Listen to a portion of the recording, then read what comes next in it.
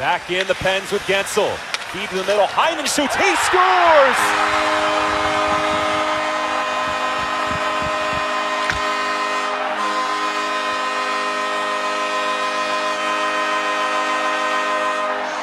Well, give Heinen three and three, and the Hawks have to decide whether they're going to leave Marc-Andre Fleury in the net here anymore.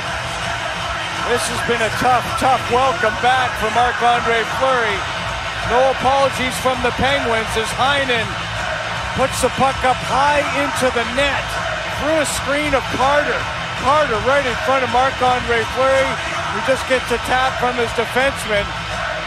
And the Chicago Blackhawks they better pick their heads up here because there is no give up on the Penguins. They're gonna they're gonna keep going.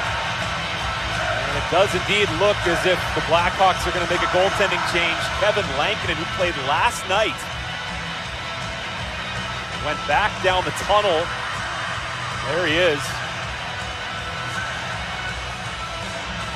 No chance for a warm-up anymore for these goaltenders. So for Lankinen, they're just giving him all the time he can right now, and Marc-Andre Fleury will exit the net.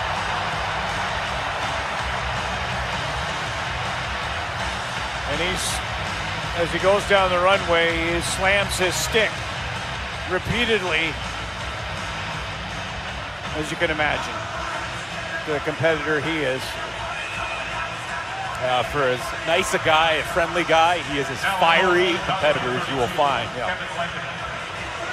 Angrily went down the tunnel, and now Kevin Lankinen will take over. Last night, four goals against on 29 shots in that 4-3 overtime loss in New Jersey.